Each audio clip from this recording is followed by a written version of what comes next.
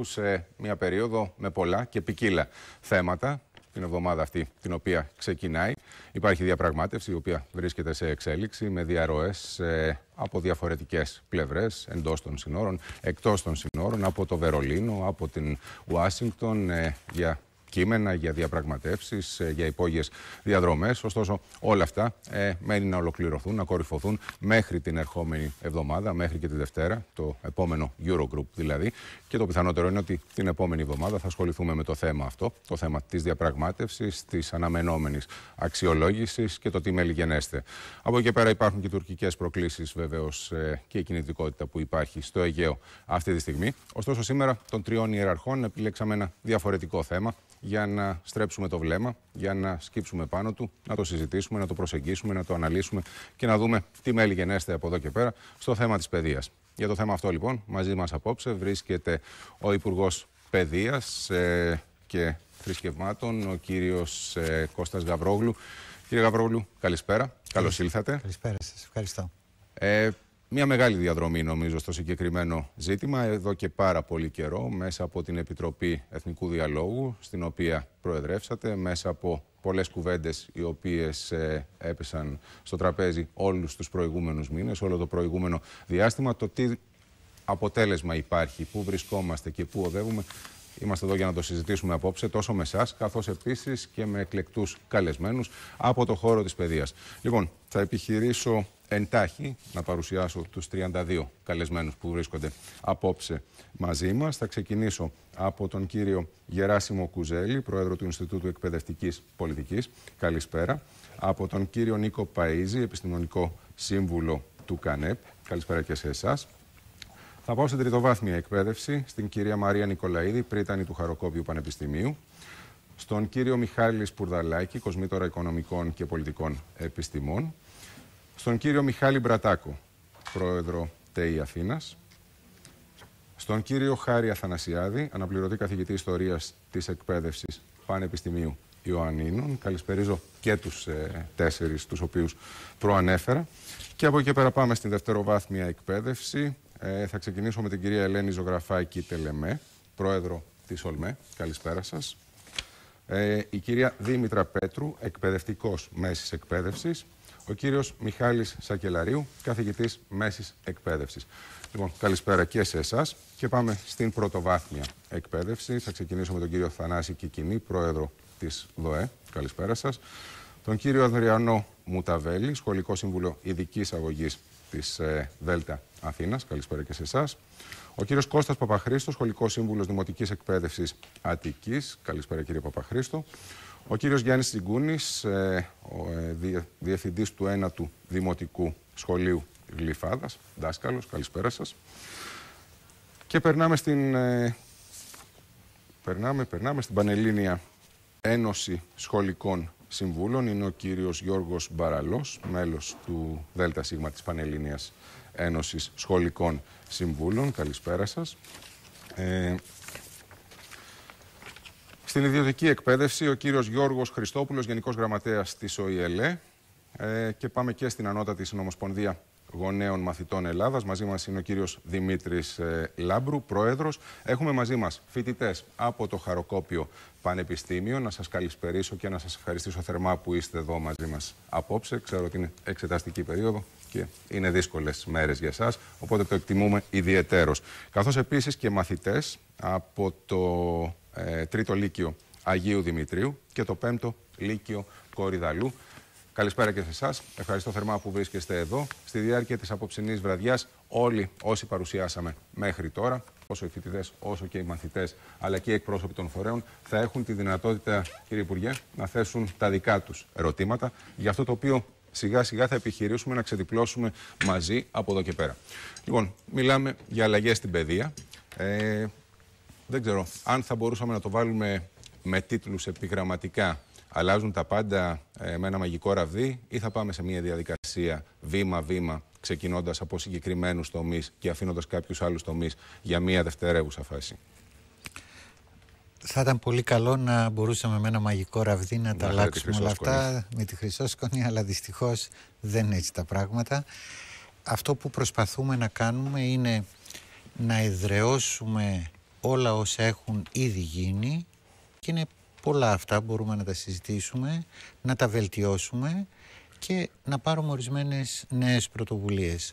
Όπως γνωρίζετε καλά, δεν μπορεί να γίνει τίποτα στην παιδεία αν δεν υπάρχουν δύο προϋποθέσεις. Ο ένα, η μία προϋπόθεση είναι ένας μακροχρόνιος σχεδιασμός. Αποκλείεται να υπάρχει ένα πιστικό σχέδιο που να είναι για λιγότερο από τρία χρόνια, παραδείγματος χάρη. Και το δεύτερο είναι αν δεν μπορέσει να επιτευχθεί μια κοινωνική και πολιτική συνένεση γύρω από κάποια μίνιμουμ ζητήματα. Άρα για οτιδήποτε συζητάμε πρέπει να έχουμε στο πίσω μέρος του μυαλού μας αυτά τα δύο, αυτές τις δύο προϋποθέσεις. Από την εμπειρία σας ε, και με το κριτήριό σας, ε, μετά από αυτή την μακρόχρονη διαδικασία της, ε, του φιλτραρίσματος, αν μου επιτρέπετε την έκφραση αυτή, των αλλαγών στην παιδεία μέσα από μια διακομματική επιτροπή το προηγούμενο διάστημα. Πόσο κοντά βρισκόμαστε στο να υπάρξει αυτή η συνένεση σε πολιτικό επίπεδο; Εγώ είμαι αισιόδοξος και θα σας πω γιατί είμαι αισιόδοξος. Δεν είναι επειδή γενικά και αόριστα είμαι αισιόδοξος. Ε, σχεδόν το σύνολο όσων συζητάμε είναι ιδέες που έχουν ήδη συζητηθεί. Δεν είναι πράγματα εντελώς καινούρια.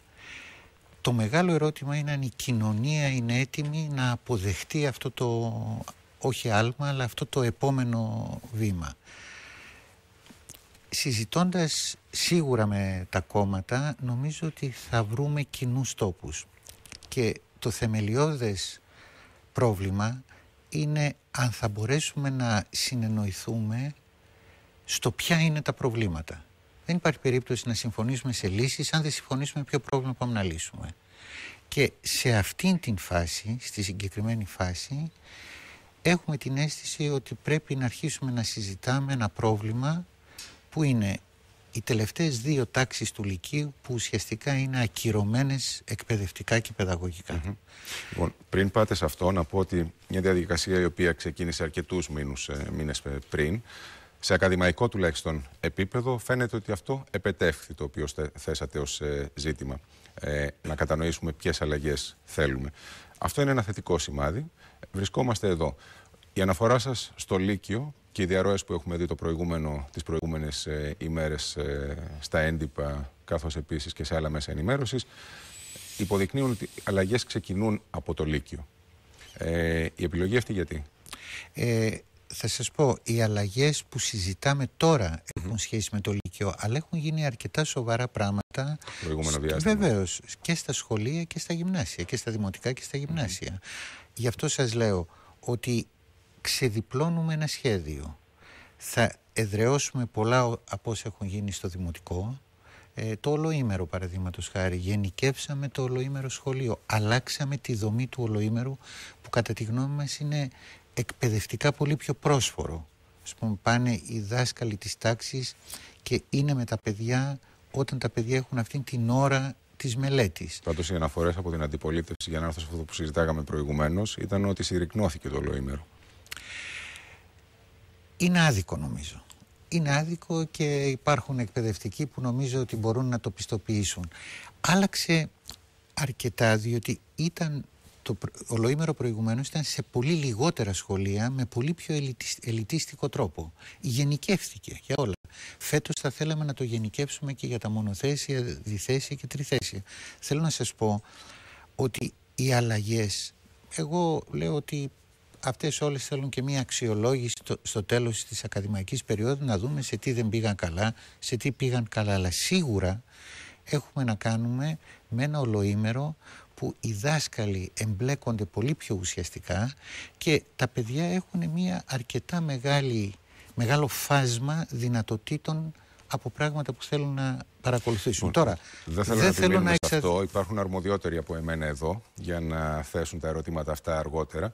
Πάμε στις αλλαγές. Πάμε στο Λύκειο να ξεδιπλώσουμε το τι μέλη γενέστε. Συμφωνούμε καταρχήν στο, στο πρόβλημα ότι οι τελευταίες δύο τάξεις του Λυκείου ουσιαστικά έχουν ακυρωθεί για λόγους για τους οποίους η ευθύνη μας βαραίνει όλους. Διότι η απαξίωση του σχολείου και κυρίως του δημόσιου σχολείου έτσι όπως έχει γίνει τα τελευταία χρόνια οδήγησε πάρα πολλά παιδιά που πολλούς γονείς να ζητάνε την είσοδο, τις δυνατότητες εισόδου στα πανεπιστήμια να τις αναζητάνε σε θεσμούς έξω από το σχολείο. Αυτό, ξέρετε, έγινε με πολύ μικρά βήματα, όπου σήμερα είμαστε σε μια αδιέξοδη κατάσταση. Μια κατάσταση που, όπως σας λέω, ουσιαστικά δεν υπάρχουν τελευταίες δύο τάξεις του Λυκείου. Ως εκ τούτου το απολυτήριο είναι κάτι που δεν παίζει κανέναν απολύτως ρόλο. Το τρίτο είναι, έχουμε ένα σύστημα πανελληνίων εξετάσεων που κατάφερε και καταβρόχθησε το σχολείο. Ένα σύστημα το οποίο θεωρούμε ότι είναι αξιοκρατικό, ενώ δεν είναι αξιοκρατικό. Το μόνο που κάνει είναι ότι είναι αδιάβλητο. Και σε μια χώρα όπου όλα παίζονται ως προς το αν είναι αδιάβλητα ή όχι, η κοινωνία όντως αγκάλιασε αυτό το σύστημα που όμως το βάπτισε ως κάτι το αξιοκρατικό. Ενώ είναι απλώς ένα λειτουργικό σύστημα. Αυτό είναι το μόνο πράγμα που κάνει. Και βεβαίως ένα πρώτο έτος του Πανεπιστημίου το οποίο δεν έχει καμία ευελιξία στα παιδιά να δουν τι άλλα μπορούν να κάνουν κτλ. Για να γίνει κατανοητό ευρέως αυτό μπορεί ενδεχομένως όσοι βρίσκονται απόψε εδώ στο στούντιο μαζί το... μας να το κατανοούν. Ωστόσο δεν είμαι βεβαίως ναι, ναι, ότι ναι, ναι, η πλειονότητα των τηλεθεατών κατανοούν γιατί δεν είναι αξιοκρατικό αυτό. Μπορούμε να δώσουμε δύο στοιχεία. Ναι, βέβαια. Κοιτάξτε, αξιοκρατικό τι σημαίνει. Σημαίνει ότι όταν τελειώνεις ένα σχολείο, ένα, τα 12 χρόνια του σχολείου, mm. έχεις αποκτήσει κάποιες κριτικές ικανότητες, έχεις αποκτήσει κάποιες γνώσεις που μπορείς να τις συνδυάσεις, έχεις, απο, έχεις γίνει γνωσιακά πολύ όριμος. Και άρα το όποιο εξεταστικό σύστημα πρέπει να μετρά, να αξιολογεί αυτή σου την οριμότητα. Εδώ το ξέρετε κι εσείς ότι ας πούμε την ιστορία πρέπει κανείς να τη μάθει απ' έξω λέξη προς λέξη διότι έτσι βαθμολογείται, έτσι και σου φύγει μία λέξη, μία πρόταση μειώνεται η βαθμολογία σου. Το να μπορέσεις να κάνεις αυτό το πράγμα ισοπεδώνει τη γνωσιακή διαδικασία. Άρα το μόνο που μετράει είναι ποιος είναι ο πιο ανθεκτικός σε αυτό το πράγμα που τα παιδιά τραβάνε στα, στους εννέα μήνες είναι πολύ περισσότεροι στο αλλά στους εννέα το, στο μαραθώνιο της, τριτοβάθ, στη, της τρίτης λυκείου και ξέρετε αυτό το κάνουν παιδιά 18 ετών που πάνε για ένα ποτό Σάββατο απόγευμα, Σάββατο βράδυ και αισθάνονται ενοχή γιατί δεν διαβάζουν, γιατί στο σπίτι γίνεται χαμός, άργησες, δεν άργησες κτλ. Εντάξει, τα 18 χρόνια τα έχουμε βάλει σε μια κατάσταση η οποία αν ήταν εκπαιδευτικά εν πάση περιπτώσει ορθή ή αποδοτική να πω εντάξει. Κοιτάξτε τους βαθμούς που παίρνουν τα παιδιά στα πρώτα εξάμεινα στο πανεπιστήμιο. Γιατί οι βαθμοί τους δεν είναι ψηλοί εκεί ενώ ουσιαστικά κάνουν αυτά που κάνανε στο φροντιστήριο και στο σχολείο. Έχουν ακολουθήσει μια εξοδοτική διαδρομή στο Έχουν εξα... Ακριβώς. Έχουν ακολουθήσει. Δεν έμεινε τίποτα. Γιατί κοιτάξτε και κάτι ακόμη. Παλιά η γνώση ταυτιζόταν με την πληροφορία. Τώρα ζούμε σε έναν άλλο κόσμο. Η πληροφορία είναι πολύ εύκολα να βρεθεί. Άρα το ερώτημα είναι τι είδους γνώση, άρα τι είδους κριτική ικανότητα αφομοίωσης είναι αυτό που λέγαμε και στον εθνικό διάλογο να μαθαίνεις το πώς θα μαθαίνεις. Έχει αλλάξει ο χαρακτήρας του σχολείου. Ε, έχουμε λοιπόν τώρα ένα σύστημα εισαγωγής το οποίο ουσιαστικά κατανέμει, δεν κάνει τίποτα άλλο ένας μηχανισμός κατανομής και κυρίως είναι κατανομής σε πόλεις. Ε, νομίζω ότι ο κύριος Παΐζης είναι από τους πλέον ειδικούς να μας πει αυτά τα, τα, τα θέματα και πολύ πιο τεχνικά. Αλλά αυτό το ζήτημα λοιπόν ε, δημιούργησε ένα εξεταστικό σύστημα το οποίο κατά τη γνώμη μου δεν μετράει δεν θέλω να πω τίποτα απολύτως, αλλά πάρα πολύ λίγα πράγματα. Λοιπόν, έχουμε φοιτητές, έχουμε και μαθητές απέναντί σας εδώ. Κοιτώντας πλέον τους μαθητές που βρίσκονται στο Λύκειο ε, και μιλώντας τους για αλλαγές. Τι είναι αυτό το οποίο θα αλλάξετε για να γίνει αξιοκρατικό πλέον το σύστημα, τι είναι αυτό το οποίο αλλάζει για να γίνει πιο ουσιαστική η γνώση, για να γίνει πιο ουσιαστική η, η μάθηση μέσα από το σχόλιο, η παρουσία του φοιτητή, του μαθητή; Δεν υπάρχει περίπτωση να γίνει αυτό που λέτε αν ταυτόχρονα δεν είναι και μια διαδικασία τα παιδιά να αγαπήσουν το σχολείο. Ξέρετε, βαριώνται στην τρίτη ηλικίου. Πάνε στην τρίτη ηλικίου γιατί θέλουν να φύγουν τα παιδιά. Προφανώς έχουν ξαγρυπνήσει για να ετοιμαστούν για τα φροντιστήρια. Όλο αυτό το, το χαοτικό σύστημα. Το ίδιο είναι και στη Δευτέρα ηλικίου. Άρα, εμείς το πρώτο που λέμε είναι να μειώσουμε δραματικά τον αριθμό των μαθημάτων. Σήμερα έχουμε 14-16 μαθήματα, όλα από λίγο χρόνο, από λίγες ώρες. Να κάνουμε πολύ λιγότερα μαθήματα, σε βάθος όμως. Άρα τα παιδιά θα εμπλακούν επί της ουσίας σε αυτά που τους ενδιαφέρουν, διότι θα πρέπει να έχουμε πολλές επιλογές, ελάχιστα υποχρεωτικά, ένα-δύο υποχρεωτικά και επιλογές ανάλογα με το που θέλουν να πάνε. Άρα εκεί θα Εσείς μπορέσουν... δηλαδή θα προτείνετε κάποια πακέτα, να το πω έτσι απλά, που θα μπορεί να διαλέξει ο μαθητής; Βεβαίως, βεβαίως. ή θα μπορεί να διαλέξει από μόνος του κάποια μαθήματα που αφορούν ε, τον κλάδο τον οποίο ε, θα στραφεί και θα ακολουθήσει. Κοιτάξτε, καταρχήν τον κλάδο, αλλά να μην είναι μόνο για τον κλάδο, γιατί δεν μπορεί να πηγαίνει κάποιος στο Πολυτεχνείο και να μην ξέρει καλή ιστορία. Γιατί αύριο θα είναι πολίτες οι οποίοι έχουν άποψη για την ιστορία, για το παρόν κτλ.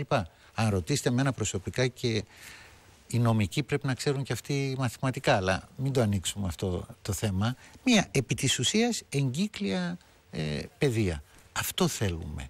Αυτό τώρα είναι πολύ δύσκολο, διότι πρέπει να γίνουν επιμορφώσεις ε, καθηγητών. Πρέπει να δούμε πολύ σοβαρά το θέμα της επαγγελματικής εκπαίδευσης, της τεχνικής εκπαίδευσης. Πριν πάμε σε αυτό, Ναι. στην επαγγελματική εκπαίδευση, να μείνουμε λίγο ε, στα του γενικού λυκείου και να μείνουμε λίγο στα, ε, στα ζητήματα που αφορούν ε, το τι θα γίνει με τις ε, εισαγωγικές εξετάσεις. Οι πανελλήνιες θα είναι στη μορφή που τις ξέρουμε σήμερα; Αλλάζει το σύστημα, θα έχουμε εξετάσεις ε, ε, διαφορετικές από αυτό το οποίο ε, ξέρει ο κόσμος και αν αλλάζει, αλλάζει πώς. Δίνονται οι εξετάσεις όντως πρώτα οι απολυτήριες και μετά οι εισαγωγικές. Ποιος είναι ο βαθμός, πώς, πώς υπολογίζεται ο βαθμός από εκεί και πέρα μέσα από αυτές τις δύο εξετάσεις. Όλα αυτά τα ζητήματα έχουν απαντηθεί από την πλευρά σας; Ευτυχώς όχι.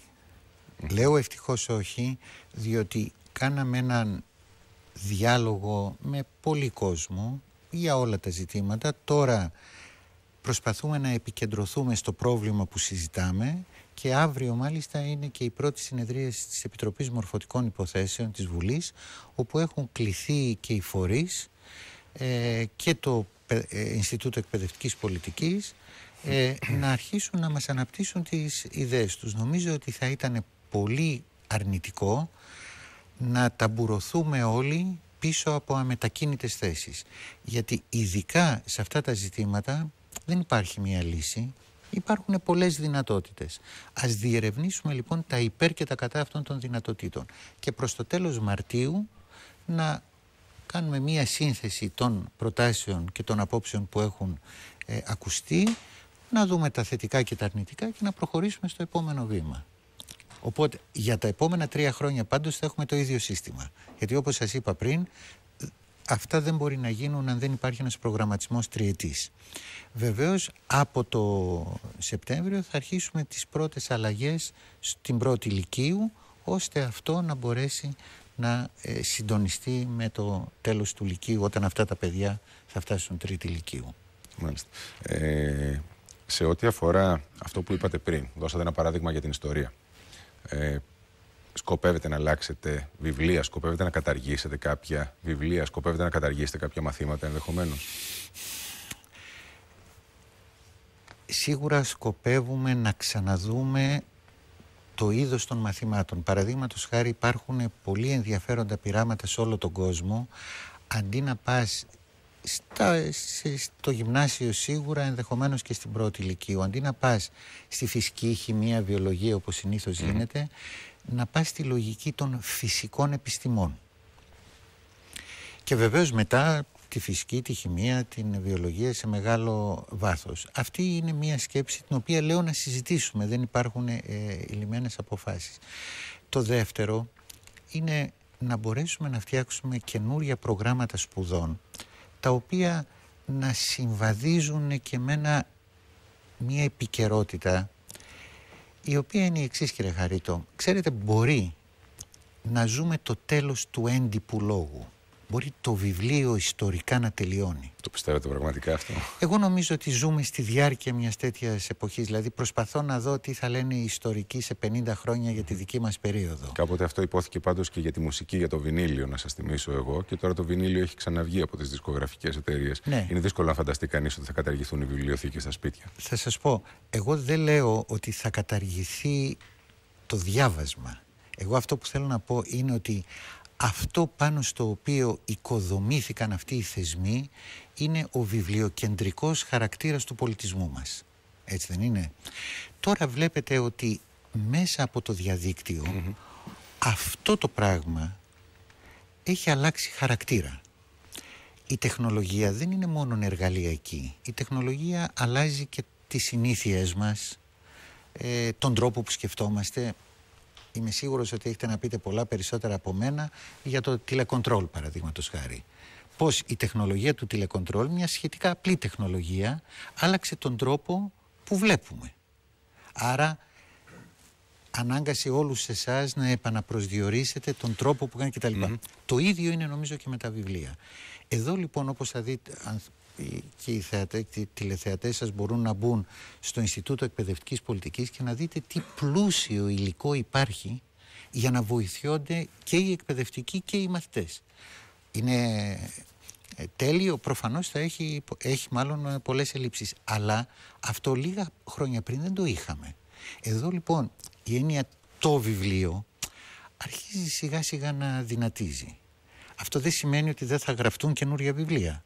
Αλλά αυτό που προσπαθώ να πω είναι ότι όλοι μας είμαστε υποχρεωμένοι να αφουγκραστούμε Για το και λίγο... συγκεκριμένο ζήτημα πάντως είχα κατά νου να σας θέσω μια τελευταία ερώτηση στην απόψινή εκπομπή ε, σχετίζοντας το με ένα παράδειγμα που μας έρχεται από τη Φιλανδία. Οπότε ας βάλουμε μια ανωτελεία, θα το επαναφέρω εγώ στο τέλος της εκπομπής. Ενδεχομένως ε, να κατανοείτε για ποιο θέμα, σε ποιο θέμα αναφέρομαι. Θα το δούμε πάντως ε, αργότερα και έχει να κάνει με μια αρκετά πρωτοποριακή, ε, ριζοσπαστική σκέψη ε, που έρχεται από την ε, Φινλανδία για τον τρόπο με τον οποίο από εδώ και πέρα ε, και μέχρι το 2030 θα πρέπει να δρομολογηθεί το θέμα της εκπαίδευσης στη συγκεκριμένη χώρα. Λοιπόν, δεν ξέρω για ποιο λόγο έχουμε τα ηχεία ανοιχτά στο στούντιο, οπότε ακούμε και εμάς, δεν τα έχουμε πλέον.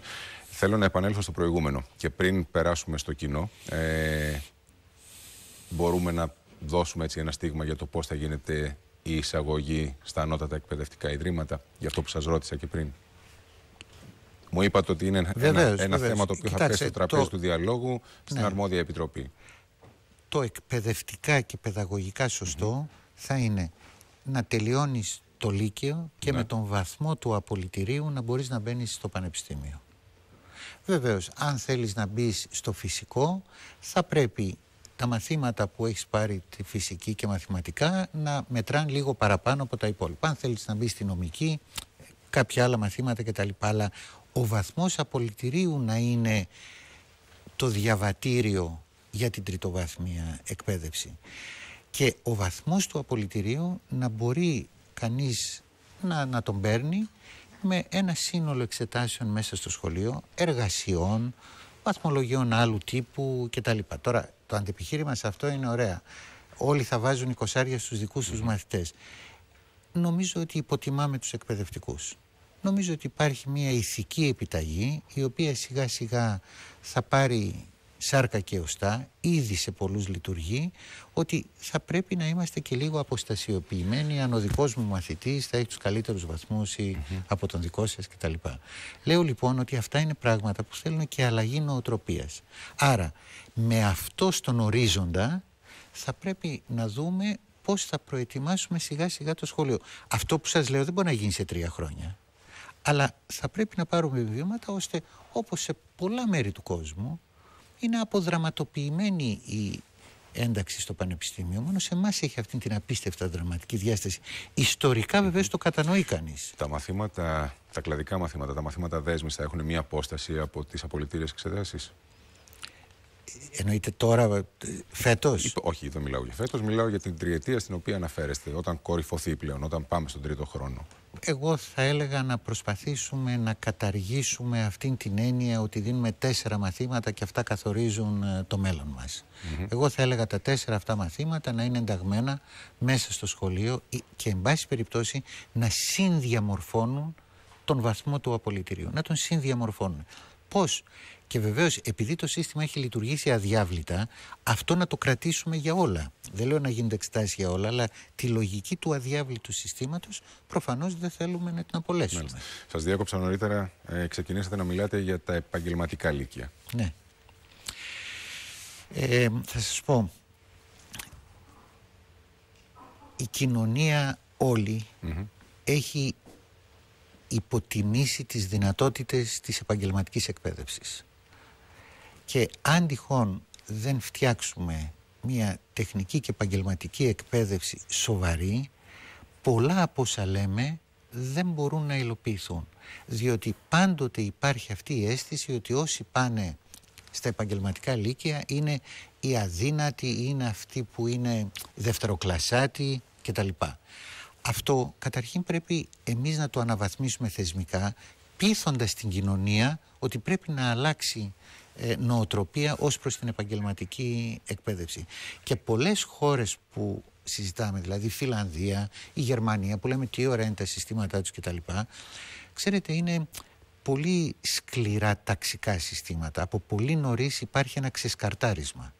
Εμείς δεν θέλουμε αυτό. Γι' αυτό και τώρα, από πέρσι δηλαδή, η δόμηση της επαγγελματικής εκπαίδευσης είναι μια παράλληλη εκπαίδευση με το Γενικό Λύκειο όπου στην αρχή είναι τα ίδια μαθήματα, σιγά σιγά υπάρχει mm-hmm. ένας προσανατολισμός και μετά υπάρχει μαθητεία. Λοιπόν, θα πάω λίγο στην ε, πρωτοβάθμια εκπαίδευση και θα ρωτήσω γιατί έχει μείνει τουλάχιστον στην παρούσα χρονική στιγμή εκτός των, ε, της διαδικασίας των αλλαγών, του σχεδιασμού των αλλαγών. Θεωρείτε ναι. ότι έγιναν ικανά πράγματα πέρυσι, αρκετά πράγματα πέρυσι και μπορεί να περιμένει; Δεν έχει μείνει έξω από τις αλλαγές γιατί έχει σχέση με αυτό που σας είπα στην αρχή ότι εδραιώνουμε και βελτιώνουμε ό,τι έχει ήδη γίνει. Ξέρετε, πέρσι πάρθηκαν διάφορες πρωτοβουλίες και τις οποίες φέτος πρέπει να βελτιώσουμε, πρέπει να εδραιώσουμε. Δεν είναι δεδομένο σε ένα εκπαιδευτικό σύστημα με τόσα προβλήματα που έχει, με τα προβλήματα τα οικονομικά που τα γνωρίζουμε όλοι πόσο δύσκολα είναι, να μπορέσει αυτό να κρατηθεί στο πόδι επειδή πέρσι κάναμε κάποιες αλλαγές. Γι' αυτό λέμε, έχει πολύ μεγάλη σημασία η παραπέρα ορθολογικοποίηση του προγράμματος με κάποια καινούρια βιβλία. Δεύτερον, έχει επίσης πολύ μεγάλη σημασία να εδραιώσουμε τις δυνατότητες που έχουμε στο ολοήμερο σχολείο και βεβαίως να εφαρμόσουμε επί της ουσίας για πρώτη φορά ένα πρόγραμμα επιμόρφωσης. Ξέρετε, πάσχουμε πάρα πολύ από επιμόρφωση. Οι δάσκαλοι μας και οι καθηγητές μας το χρειάζονται και το θέλουν πάρα πολύ.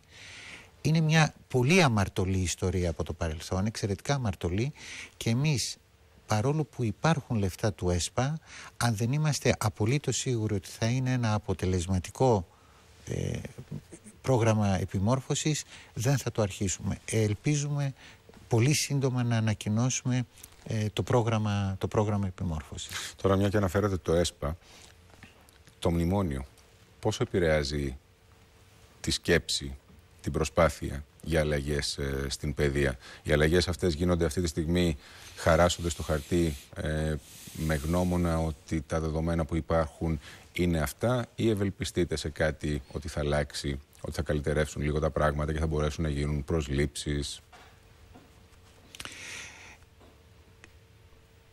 Ένα κομμάτι των διαπραγματεύσεων που γίνεται με τους θεσμούς, που γίνονται με τους θεσμούς, έχει σχέση με την εναρμόνισή μας με τα ευρωπαϊκά δεδομένα. Είναι ανεξάρτητα του προβλήματος του χρέους κτλ. Εκεί έχουμε και εμείς πολλά πράγματα να μάθουμε από την Ευρώπη. Δεν λέω ότι όλα στην Ευρώπη είναι ιδανικά, αλλά υπάρχουν θέματα στα οποία δεν μπορέσαμε να προσαρμόσουμε το βηματισμό μας. Άρα ένα από τα πράγματα που γίνονται ε, συζητήσεις είναι αυτά.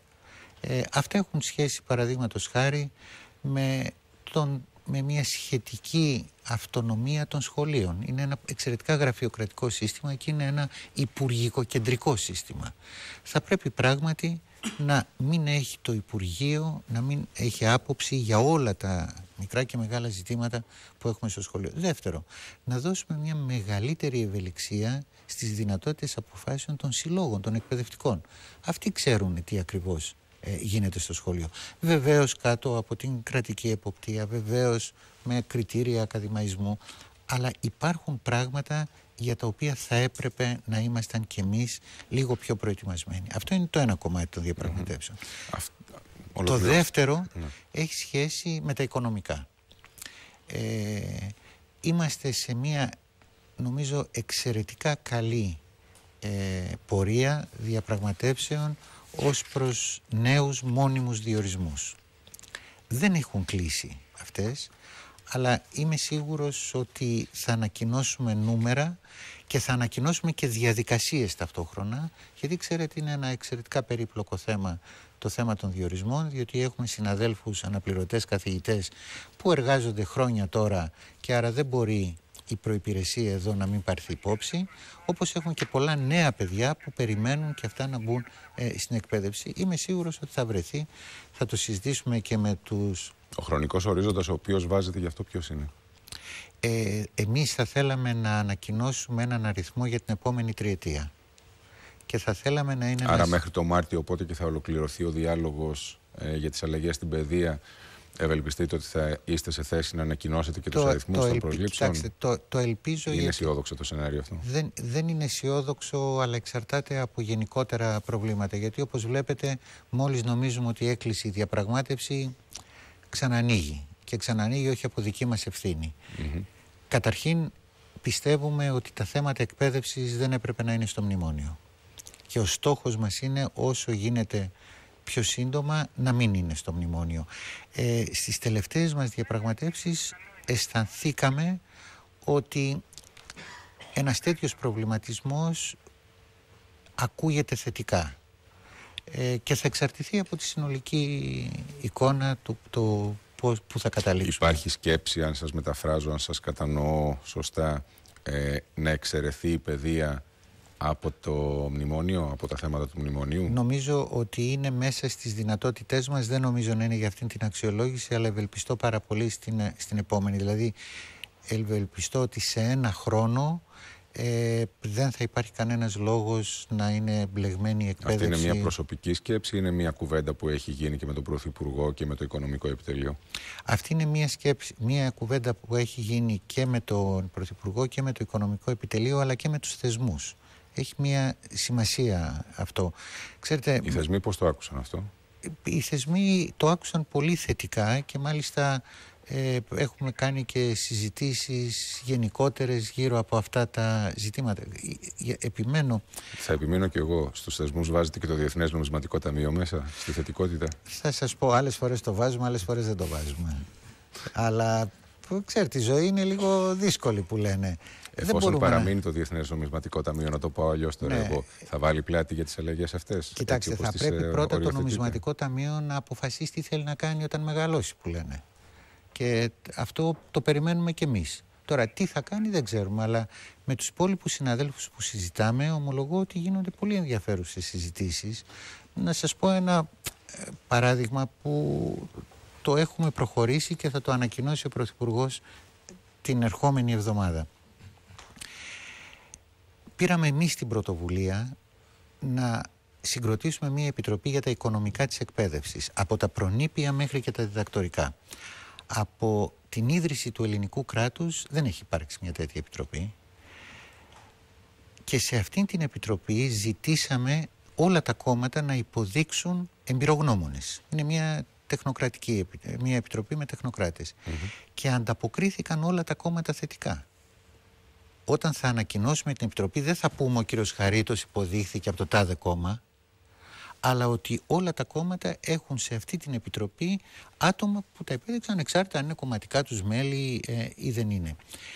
Αυτή λοιπόν η Επιτροπή θα μελετήσει τα οικονομικά της εκπαίδευσης και η κυβέρνηση δεσμεύεται από τώρα να μπορέσει σε τρία χρόνια να κλείσει την ψαλίδα ώστε όλα τα ανελαστικά έξοδα να μπορούν να αντιμετωπιστούν. Αυτό είναι ένα τρομερό εγχείρημα στο οποίο εμείς ως κυβέρνηση δίνουμε πολύ μεγάλη σημασία για να έχουμε αυτά τα μεγέθη για να μπορέσουμε να χαράξουμε πολιτική και λόγω αυτών των μεγεθών. Τέτοιου είδους κινήσεις μας οδηγούν όλο και πιο κοντά στο να φύγει η εκπαίδευση από τα μνημόνια. Μάλιστα. Λοιπόν, ε, στο σημείο αυτό, ε, νομίζω εφόσον έχει περάσει και το μισάωρο το οποίο ήθελα, τουλάχιστον είχα βάλει ως όριο εγώ για να δώσουμε ένα πλαίσιο των αλλαγών αυτών. Ε, να δώσουμε, δεν έχουμε αγγίξει όλα τα ζητήματα, ωστόσο φαντάζομαι ότι και μέσα από τις ερωτήσεις τις ε, δικές σας μπορούμε να πάμε λίγο παραπέρα την ε, κουβέντα. Ε, θα ξεκινήσω από την ε, τριτοβάθμια εκπαίδευση ε, και θα πάμε καταρχάς στην κυρία Μαρία Νικολαίδη.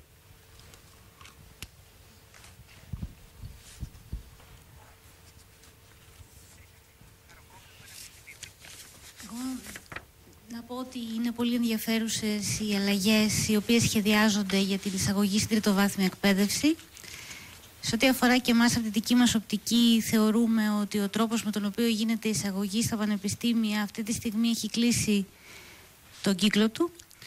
Να πω ότι θέλουμε και είμαστε συνομιλητές στη διαδικασία αυτή. Θεωρούμε ότι ο διάλογος μπορεί να είναι πάρα πολύ γόνιμος και έχει πολύ μεγάλη σημασία να δούμε στην πράξη και ποιες είναι οι δυνατότητες των πανεπιστημίων έτσι ώστε να προσφέρουμε προγράμματα σπουδών τα οποία είναι πιο ευέλικτα.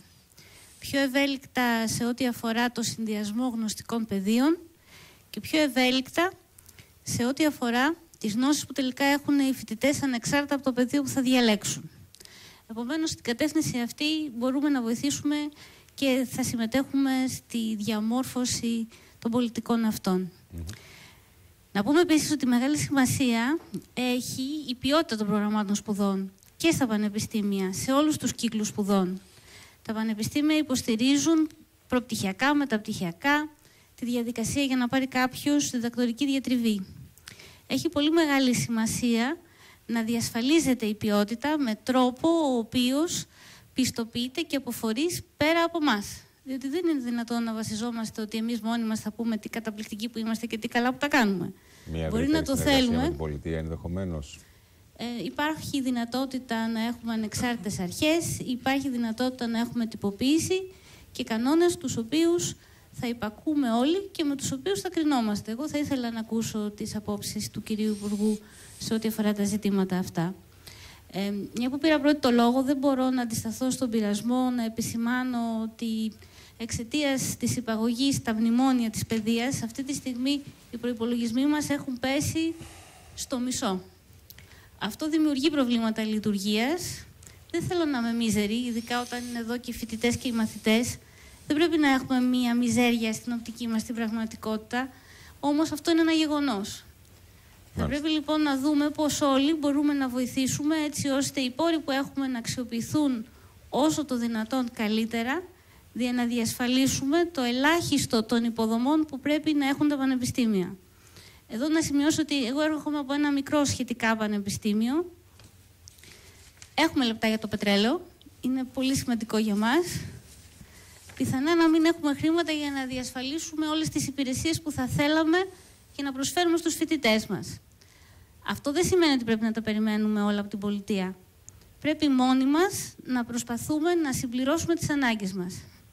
Για το λόγο αυτό θα ήθελα να ακούσω και την άποψη του Υπουργού σε ένα διαφορετικό μοντέλο που θα ενισχύσει την αυτοτέλεια των Ιδρυμάτων.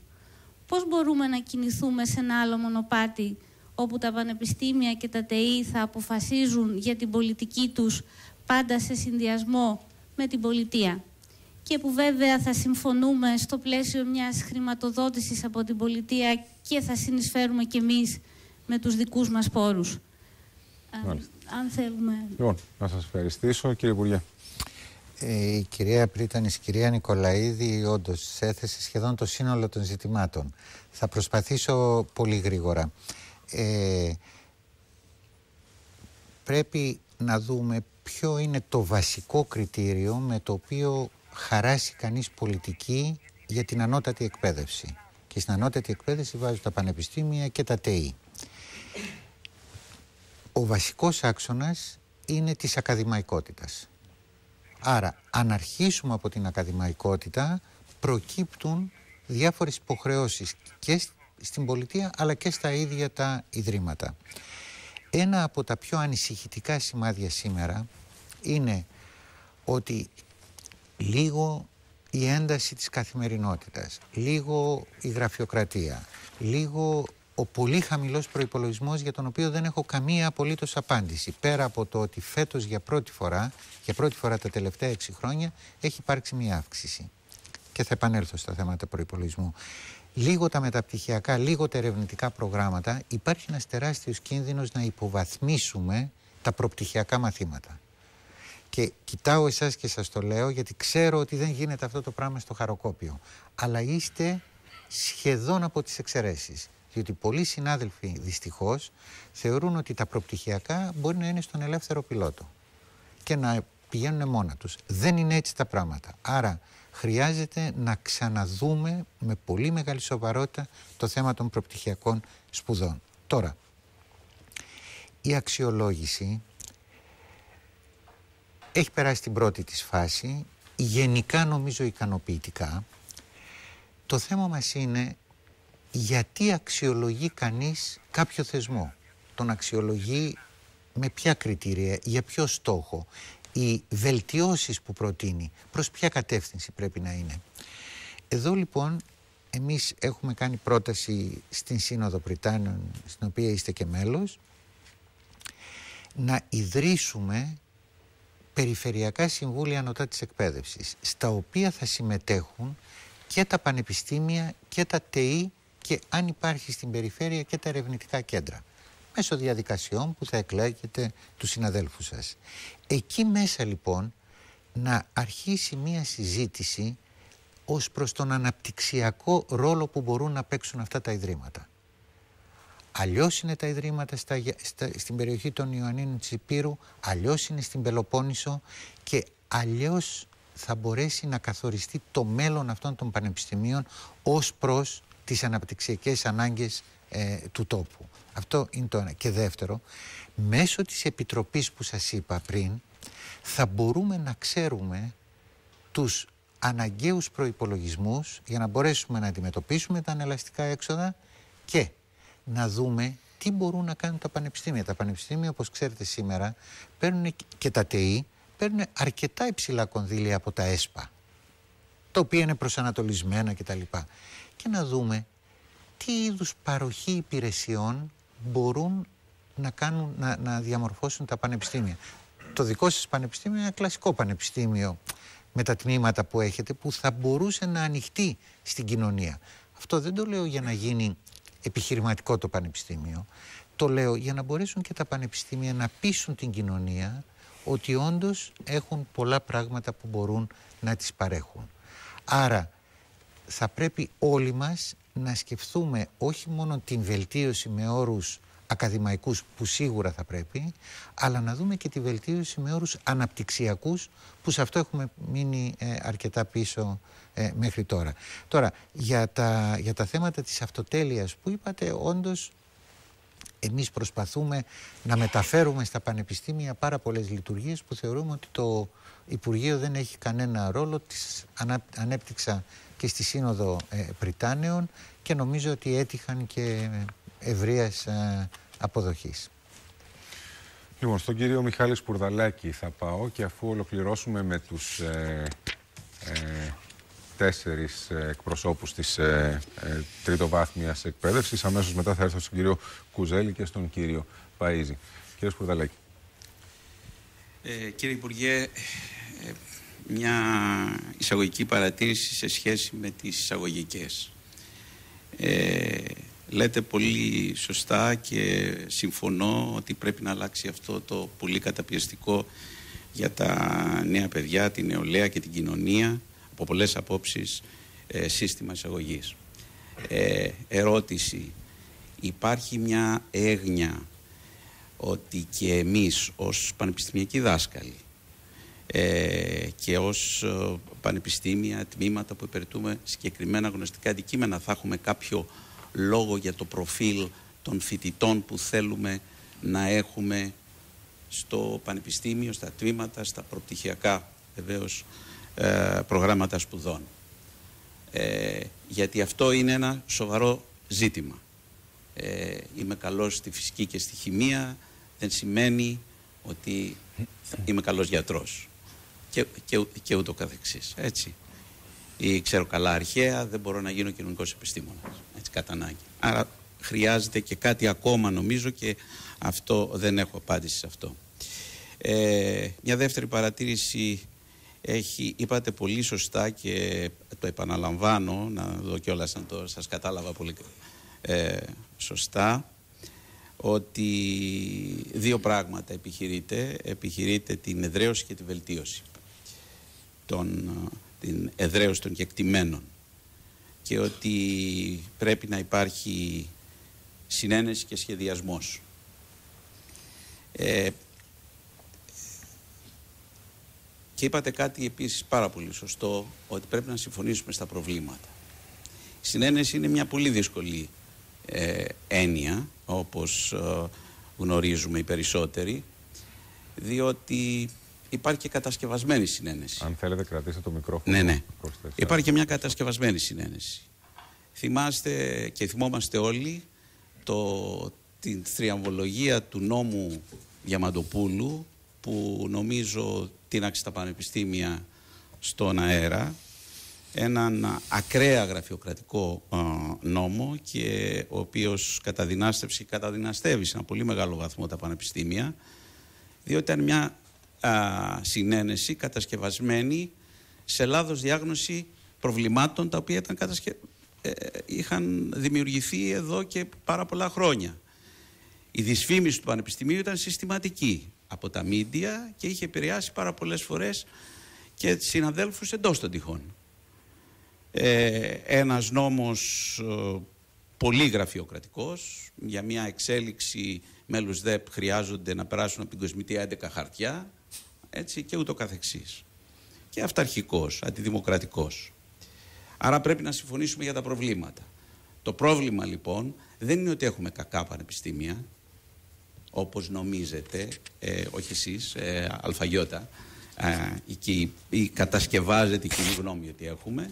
Θυμίζω ότι τουλάχιστον τα μισά ελληνικά πανεπιστήμια βρίσκονται στο 2 με 3, 4 το πολύ της εκατό της παγκόσμιας κατάταξης με κριτήρια που εγώ ενδεχομένως να μην αποδέχομαι αλλά που είναι κοινός τόπος στις, δια... στις ε, διεθνείς ε, ε, ταξινομήσεις των, και αξιολογήσεις των πανεπιστημίων. Ε, 2 με 3% δεν νομίζω υπάρχουν άλλες δραστηριότητες στη χώρα, στις ελληνικές, οι οποίες έχουν τέτοιου είδους επιτυχία. Άρα έχει πάρα πολύ μεγάλη σημασία να, να, διαγνώσουμε, τα, να διαγνώσουμε το πρόβλημα. Τώρα...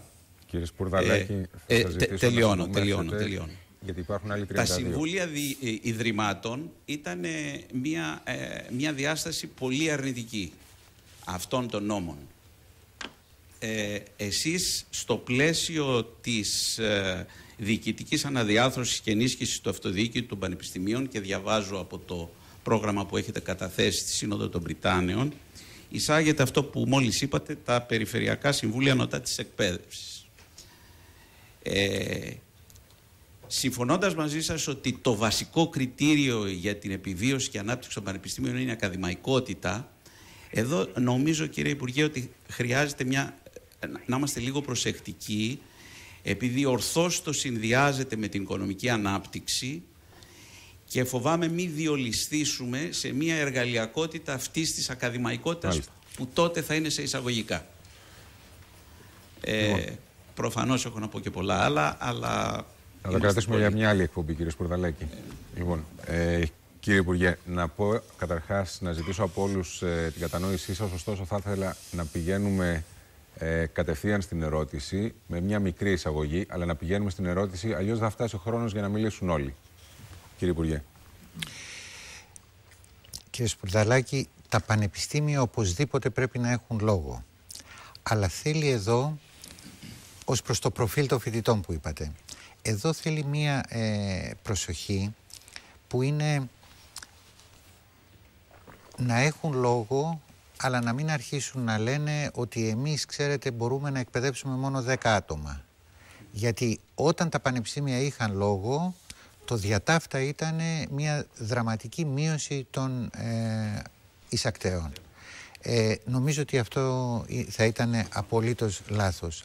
Και κοιτάξτε, εδώ θα έπαιζε τεράστιο ρόλο, πρώτον, η επί της ουσίας καθιέρωση του επαγγελματικού προσανατολισμού στα σχολεία και δεύτερο, η υποχρέωση των πανεπιστημίων να πηγαίνουν στα σχολεία και να μιλάνε ε, με τα παιδιά.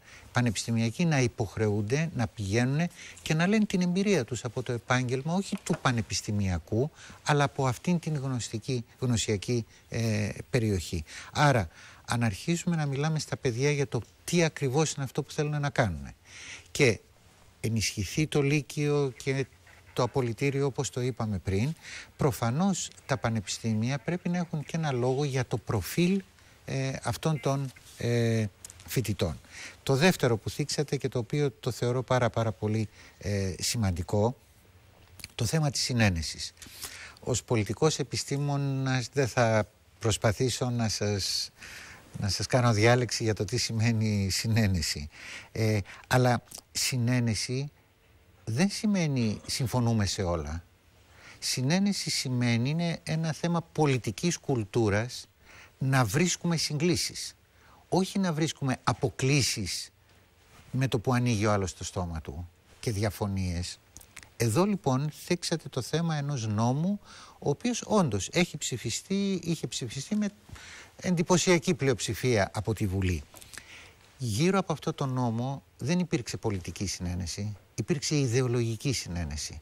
Και η ιδεολογική συνένεση ήταν ότι ψηφίζουμε αυτό το νόμο για να τελειώσει η κυριαρχία της αριστεράς στα πανεπιστήμια.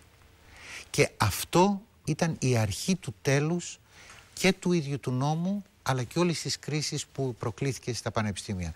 Και δεν το λέω αυτό ούτε ως αριστερός αλλά ούτε και ως ε, εμπαθής πανεπιστημιακός. Σας προκαλώ να δείτε τα πρακτικά των συνεδριάσεων και να δείτε τις κορώνες που είχαν ε, λεχθεί επιτέλους στο τέλος της μεταπολίτευσης, επιτέλους η αριστερή έξω από τα πανεπιστήμια. Αυτά, αν έχει συνένεση γύρω από τέτοιου είδους κατασκευές, είναι αδιέξοδο το αποτέλεσμα της όποιας πλειοψηφίας στην Βουλή. Γι' αυτό λέμε πολιτική συνένεση, δηλαδή συγκλήσεις σε πράγματα που μπορούμε να συμφωνήσουμε. Προφανώς... Καλά, εντός των τυχών είναι μια άλλη Λοιπόν, τεράστια κουβέντα. Στον κύριο Μιχάλη Μπρατάκο θα πάμε, πρόεδρο του ΤΕΙ Αθήνας. Σε τηλεοπτικούς χρόνους θα σας παρακαλέσω. Ναι, ναι, θα είμαι πολύ σύντομος. Θα είμαι πολύ σύντομος. Καταρχάς θέλω να σας ευχαριστήσω εσάς και τους ε, συνεργάτες σας που για πρώτη φορά καλούν εκπρόσωπον τον ΤΕΙ σε τηλεοπτική παρουσία. Εκμεταλλευτείτε τον χρόνο μια και βρίσκεται εδώ. Θα τον εκμεταλλευτώ. Θέλω ο κύριος Υπουργός με τον οποίο ε, συμμετείχα στο διάλογο που ξεκίνησα για την παιδεία εδώ και ένα χρόνο ε, και γνωρίζει και τις απόψεις μου αλλά και τις απόψεις των ε, συναδέλφων μου προέδρων όλων των Ιδρυμάτων της χώρας. Ε, τον ΔΕΗ εννοώ. Σε μία συνάντηση που είχαμε και στο παρελθόν έχουν τεθεί αυτά τα δύο θέματα τα οποία θα θέσω και τώρα. Τα γνωρίζω ο κύριος Υπουργός, παρότι ο ίδιος μιλάει σε μια ερώτηση βουλευτού ότι θα είναι αποτυχία στη συνείδηση των πολιτών η φίτηση στα ΤΕΗ. Εγώ δεν το θεωρώ ότι είναι αποτυχία. Θεωρώ ότι είναι επιτυχία κάποιος να επιλέγει το ΤΕΗ και αυτό το είδαμε στις τελευταίες εισαγωγικές εξετάσεις που ο αριθμός, το ποσοστό καλύτερα θα έλεγα, έχει αυξηθεί κατά 6,6% εκείνων οι οποίοι το έβαλαν πρώτη και δεύτερη επιλογή, τμήματα των ΤΕΗ. Συνεχίζω όμως πιο κάτω και λέω το εξής. Τα δύο βασικά προβλήματα τα οποία ενδιαφέρουν τα ιδρύματα αυτά, και επειδή μιλήσαμε για ακαδημαϊκότητα, το ερώτημα που τίθεται είναι ποια ακαδημαϊκότητα, κύριε Υπουργέ, όταν δεν δίνετε τη δυνατότητα διδακτορικών διατριβών στα ΤΕΗ, για τμήματα τουλάχιστον των ΤΕΗ, τα οποία έχουν τις προποθέσει. Έχουν το κατάλληλο εκπαιδευτικό προσωπικό, έχουν μεταπτυχιακές, μεταπτυχιακά προγράμματα σπουδών, έχουν μεγάλη ερευνητική εμπειρία και δυνατότητα, έχουν δείξει τα, τα τμήματα αυτά και απομένει να δώσετε εσείς το OK, διότι ύστερα από τις αυτοδύναμες μεταπτυχιακές σπουδές που κάνουν τα ιδρύματά μας, οι φοιτητές μας τελειώνοντας το project που έχουν στο μεταπτυχιακό, αναζητούν μια λύση. Να συνεχίσουν την ακαδημαϊκή τους καριέρα. Αυτό αποκλείεται από τον νόμο και αποκλείεται από την πολιτεία. Φυσικά αυτό είναι παράνομο, διότι σύμφωνα με το άρθρο 16 του Συντάγματος, παράγραφοι 1, 3 και 5, κύριε Υπουργέ, και το ξέρετε καλά, δεν μπορείτε να αποκλείετε από την, την ακαδημαϊκότητα από τα ιδρύματα αυτά όταν είναι στο ίδιο επίπεδο με τα πανεπιστήμια, απλώς αποτελούν τον παράλληλο τομέα των πανεπιστημίων. Μάλιστα. Το ένα είναι αυτό. Και το άλλο, κύριε Χαρίτο, επιτρέψτε μου, και το άλλο, είναι το θέμα της μετονομασίας. Είναι αυτό που ζητάμε κατά καιρούς, το ξέρει ο κύριος Υπουργός. πρέπει οπωσδήποτε η ελληνική οικογένεια να καταλάβει ότι το παιδί του δεν πάει σε ένα δεύτερο σχολείο, σε ένα δεύτερο ίδρυμα που ονομάζεται ΤΕΗ, αλλά πάει σε ένα πανεπιστήμιο εφαρμοσμένων επιστημών. Διότι η εφαρμογή των επιστημών κάνουμε. Και γι' αυτό οι απόφοιτοί μας είναι καταξιωμένοι στην αγορά εργασίας και έχουν, ε, ευκολότερα μπορούν να βρουν δουλειά από κάποιον που τελείωσε κάποιο πανεπιστημιακό τμήμα. Οπωσδήποτε όμως θα θέσω και ένα τρίτο θέμα που το συζητάμε τώρα με τον κύριο Υπουργό, που είναι τα επαγγελματικά δικαιώματα. Χωρίς επαγγελματικά δικαιώματα, πώς είναι δυνατόν οι απόφοιτοι που τελειώνουν να βρουν έξω εργασία όταν δεν έχουν ναι. αυτό το, το, βασικό στοιχείο το οποίο θα διέπει τις σπουδές, ναι. διότι σύμφωνα με τον νόμο, από το πρώτο έτος που εισάγεται κάποιος, θα πρέπει να βγουν τα επαγγελματικά δικαιώματα του τμήματος. Αυτό ορίζει η νομοθεσία. Λοιπόν, καταγράφηκε και, και το τρίτο ερώτημα. Αυτά με κάλυψε και η κυρία Πρίτανης πριν από λίγο για τα οικονομικά, για όλα αυτά. Έχω πάρα πολλά να πω γιατί οι προπολογισμοί μα. αν δεν σας είχε καλύψει πόσα ερωτήματα θα Κύριε Χαρίτο, λοιπόν, οι προπολογισμοί μας έχουν πέσει στο 72% στα τελευταία τέσσερα χρόνια. Αντιλαμβάνεστε ότι δουλεύουμε ε, εγώ λέω ότι ίσως έχει πάει και 85. Λοιπόν, να πάμε στον ε, κύριο Γαβρόγλου για να έχουμε τις απαντήσεις στα δικά σας ερωτήματα. Θα παρακαλέσω όχι περισσότερα από δύο ερωτήματα. Θα παρακαλέσω να πηγαίνουμε κατευθείαν στα ερωτήματα. Αλλιώς κάποιοι ήρθαν χωρίς λόγο από εσάς εδώ. Θα είναι η κατάληξη της απόψινής βραδιάς. Κύριε Γαβρόγλου. Κοιτάξτε, ο, ο κύριος Μπρατάκος ε, θέτει ορισμένα πολύ σοβαρά ζητήματα εγώ δεν είπα ότι όποιοι πάνε στα ΤΕΗ πάνε σε κάτι που είναι υποδέστερο. Εγώ είπα ότι η κοινωνία, η κοινωνία δεν έχει τα ΤΕΗ στο ίδιο επίπεδο με τα πανεπιστήμια και κακώς δεν το έχει. Κακώς. Το ξέρετε ότι το έχω δηλώσει και ε, δημόσια. Προσπαθώ και το ξέρει ο κύριος Μπρατάκος και το ξέρουν όλοι οι συνάδελφοι. Εδώ και αρκετό καιρό να πείσω τους πανεπιστημιακούς, τους συναδέλφους από τα ΤΕΗ, και τα ερευνητικά κέντρα να καθίσουν γύρω από ένα τραπέζι και να συζητήσουν τα προβλήματα. Και εμείς το αποδεχτήκαμε, αλλά οι πανεπιστημιακοί δεν το αποδέχτηκαν. Τώρα, εγώ δεν θέλω να μπω στη λογική ποιοι είναι οι καλοί και ποιοι είναι οι κακοί. Εγώ λέω, εγώ προσπαθώ να πω, εγώ προσπαθώ να πω ότι υπάρχουν παθογένειες τις οποίες καλούμαστε όλοι να υπερβούμε. Και πράγματι τα ΤΕΗ δέχτηκαν ε, αυτή την πρόταση και είμαι σίγουρος ότι θα τη δεχθούν και τα πανεπιστήμια. Θα είναι μια πολύ καλή μέρα για τα ιδρύματά μας όταν και οι τρεις εκπρόσωποι των τριών αυτών φορέων καθίσουν για τα κοινά προβλήματα. Το δεύτερο, ως προς τα διδακτορικά. Εγώ το δέχομαι αυτό που είπατε, το έχουμε συζητήσει και θεσμικά μαζί, μόνο που αυτό δεν μπορεί να ισχύσει για όλα τα ΤΕΗ και για όλα τα τμήματα. Άρα χρειαζόμαστε κάποια διαδικασία αξιολόγησης να συμφωνήσουμε σε αυτήν τη διαδικασία αξιολόγησης, να δούμε ποια τμήματα μπορούν να δίνουν διδακτορικά και βεβαίως την επομένη να δώσουν διδακτορικά. Αλλά δεν μπορεί αυτό να γίνει γενικά για όλα τα τμήματα και για όλα ε, τα ιδρύματα. Θα μιλήσω κύριε Υπουργέ. Προϋποθέσεις, κριτήρια να βάλουμε. Κριτήρια, όχι αξιολόγηση με την έννοια που εννοείται γενικότερα η αξιολόγηση, γιατί εδώ υπάρχουν πανεπιστημιακά τμήματα με τρεις καθηγητές και δίνει ο καθένας από τρία διδακτορικά και από πέντε. Και είναι τρεις. Θα... Κοιτάξτε. Επειδή, επειδή, επειδή υπάρχουν προβλήματα στα πανεπιστήμια, δεν σημαίνει ότι πρέπει να αναπαραχθούν και στα ΤΕΗ. Εγώ συμφωνώ μαζί σας. Αντί προποθέσει να πούμε κριτήρια.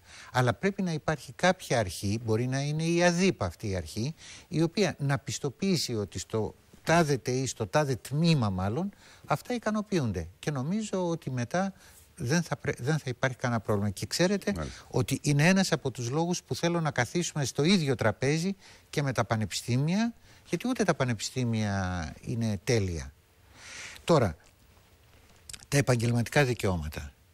το δυσκολότερο πρόβλημα που έχει να αντιμετωπίσει η ελληνική κοινωνία. Είναι μια συντεχνιοποιημένη κοινωνία όπου τα επαγγελματικά δικαιώματα συζητιώνται με όρους εμφυλιοπολεμικούς.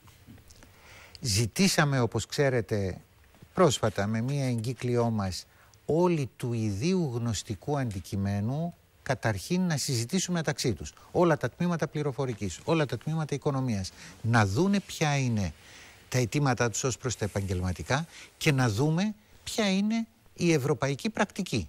Γιατί αυτά δεν είναι εξωτικά τμήματα, αντίστοιχα έχει και η Ευρώπη. Να δούμε λοιπόν εκεί τι λένε για τα επαγγελματικά δικαιώματα και να προχωρήσουμε αμέσως. Ναι. Να σας πω όμως ένα καλό νέο. Σήμερα είχα συνάντηση με το Προεδρείο του Τεχνικού Επιμελητηρίου Ελλάδας και το Τεχνικό Επιμελητήριο Ελλάδας δέχτηκε με μεγάλη χαρά να γίνει μια μεικτή επιτροπή από μηχανικούς και από διδάσκοντες στα ΤΕΗ, από συναδέλφους στα Πολυτεχνία και διδάσκοντες στα ΤΕΗ για να δούνε από κοινού μια τέτοια επιτροπή τα επαγγελματικά δικαιώματα. Οπότε είναι έστω μισό βήμα. Είναι το πιο ικανοποιητικό που άκουσα. Ορίστε, λοιπόν, βλέπετε. Πάμε και στον κύριο Χάρη Αθανασιάδη, αναπληρωτή καθηγητή Ιστορίας της Εκπαίδευσης του Πανεπιστημίου Ιωαννίνων. Κύριε Αθανασιάδη. Ε, κύριε Υπουργέ, ε, δύο συν μία ερωτήσεις. Ιδίω ως ιστορικός της εκπαίδευσης. Ας φανταστούμε έναν ιστορικό του μέλλοντος, ο οποίος αποφασίζει να ασχοληθεί με τα εκπαιδευτικά του σήμερα. Παρότι θα δει τις εκκλήσεις σας για συνένεση, θα αναζητά να δει την ειδοποιώ διαφορά της πρώτης αριστερής διακυβέρνησης από τις εκπαιδευτικές πολιτικές των προγενέστερων, των κεντρών ή δεξιών κυβερνήσεων. Πέρα λοιπόν από τις, τα μερεμέτια και τα νοικοκυρέματα θα προσπαθεί να δει έναν άξονα. Υπάρχει τέτοιος, μπορούμε να τον περιγράψουμε ώστε να βοηθήσουμε τον άνθρωπο. Η δεύτερη, οι εκπαιδευτικές μεταρρυθμίσεις του παρελθόντος μας έμαθαν σίγουρα κάτι, ότι χωρίς συνενέσεις των ίδιων των εκπαιδευτικών, ό,τι και να δρομολογήσει κανείς, πάει στράφη.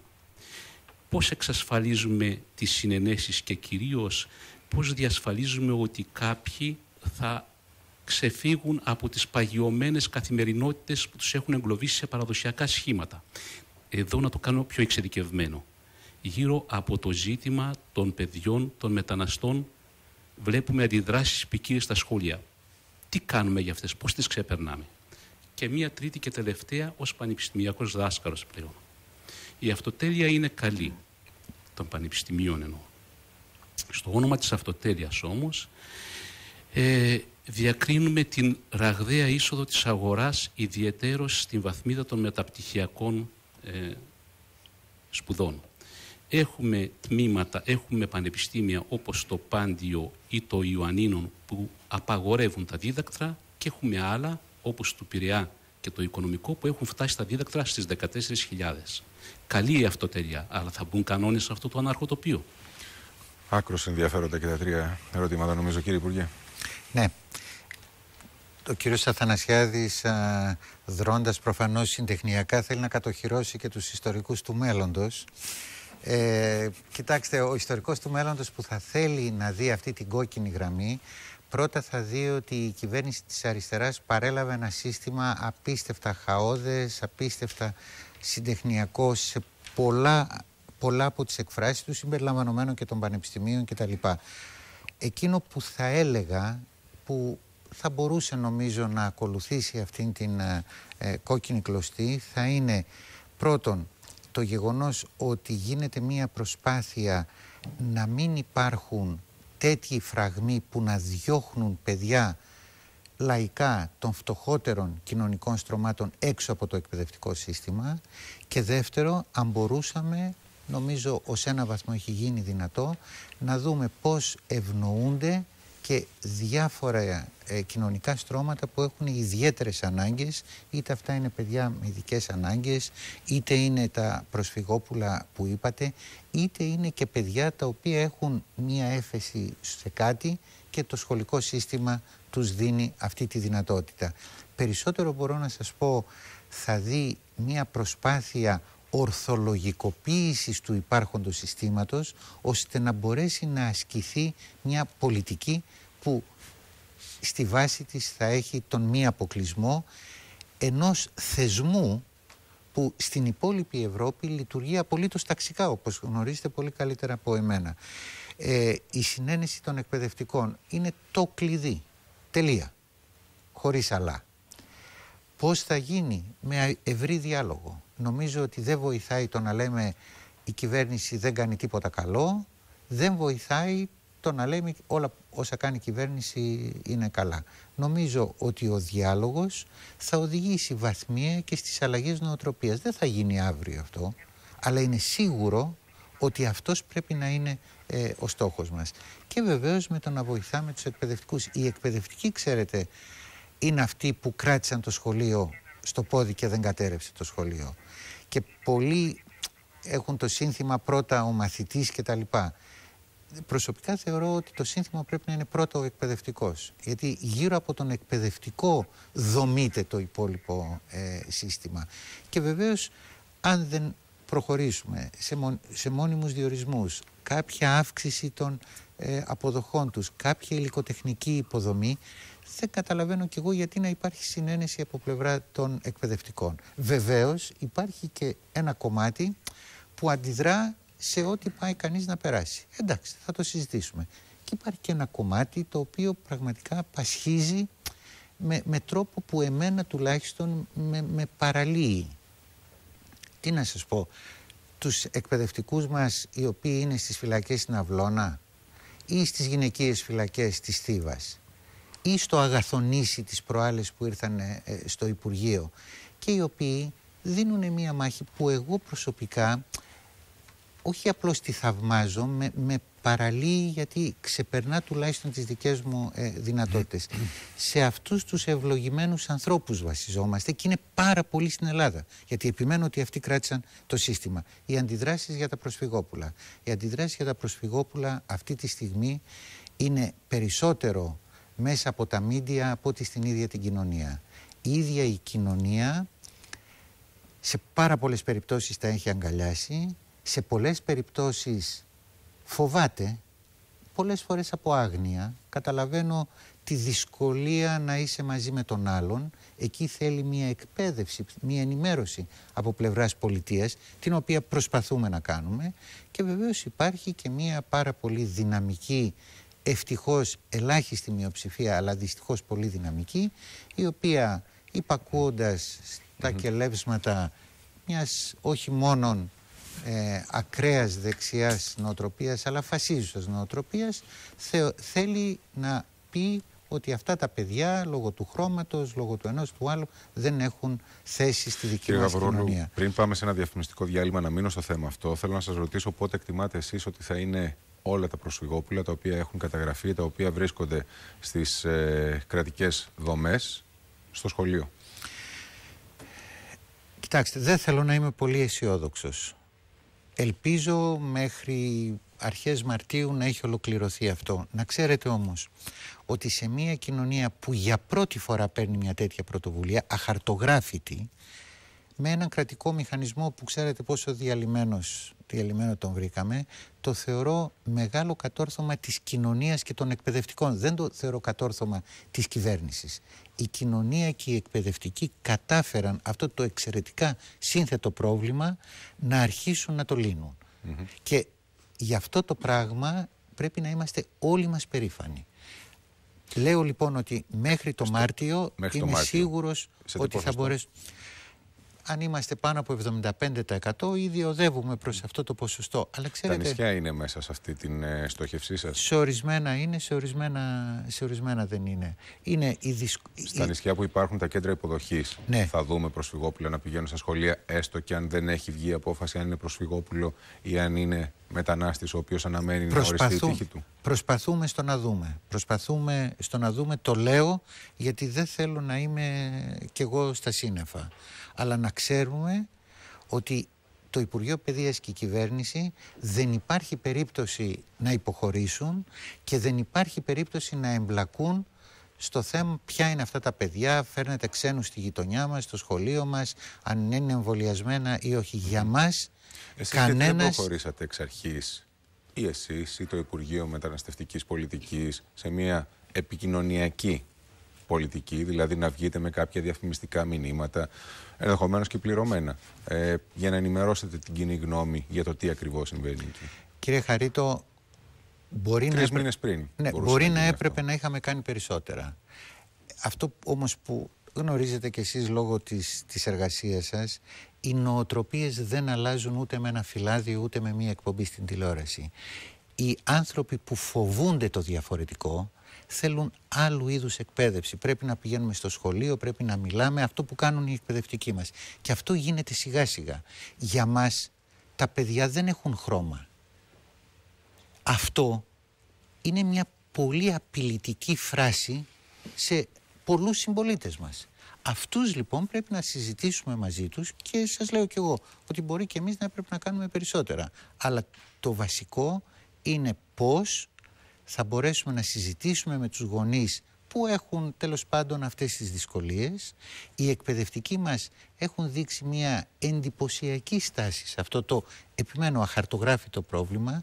Ε, έχουμε μια επιστημονική επιτροπή που έχει υπερβεί τον εαυτό της. Ο Μάλιστα. Γενικός Γραμματέας του Υπουργείου, κ. Παντής, συντονίζει αυτή την προσπάθεια και εγώ νομίζω κάθε σχολείο που ανοίγει είναι μια εξαιρετικά μεγάλη ε, επιτυχία με όλα τις τα προβλήματα. Δεν θέλω Λοιπόν, να τα μένουμε σε αυτά υποβαθμίσω. για αυτό το πρώτο μέρος ε, της ε, εκπομπής. Ε, το θέμα βεβαίως ε, που έχει πέσει στο τραπέζι είναι οι αλλαγές στην ε, παιδεία με ερωτήσεις των καθήλυν αρμόδιων που βρίσκονται εδώ, εκπρόσωποι των ε, φορέων, ε, των ε, συνδικαλιστικών οργανώσεων, καθηγητές, δάσκαλοι, μαθητές, φοιτητές. Όλοι αυτοί θα συνεχίσουν να θέτουν τα ερωτήματά τους στον ε, Υπουργό Παιδείας, τον κύριο Γαβρόγλου. Σε πολύ λίγο από τώρα ένα μικρό διαφημιστικό διάλειμμα και είμαστε σε τέσσερα περίπου λεπτά και πάλι μαζί.